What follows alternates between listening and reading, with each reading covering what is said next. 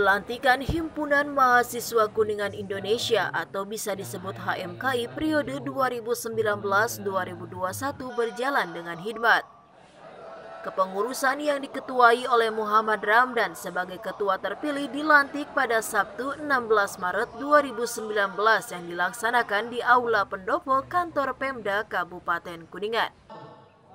Dalam acara yang bertemakan HMKI bersinergi dibarengi dengan acara fokus group discussion dengan tema revitalisasi rencana strategis pemerintah daerah bersama akademisi dan mahasiswa dalam mewujudkan visi Kuningan maju dan berbasis desa.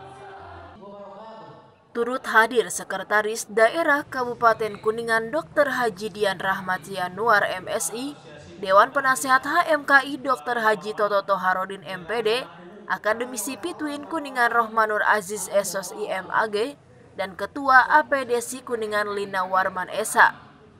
Ketua terpilih baru HMKI mempunyai visi organisasi yang bernafaskan kekeluargaan. Misi-misi yang dibangun ke depan yaitu saya mewujudkan HMKI yang bernafaskan keluargaan.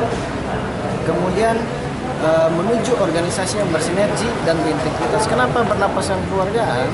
Karena setiap nafas, filosofi nafas itu kan kita menghirup, gitu kan, hirup udara, kemudian mengeluarkan udara.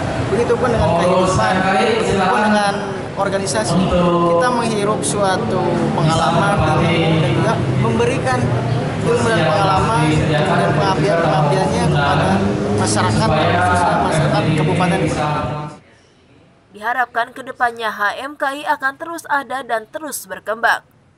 Mira Rismaya dan Putri Murni melaporkan untuk Era TV.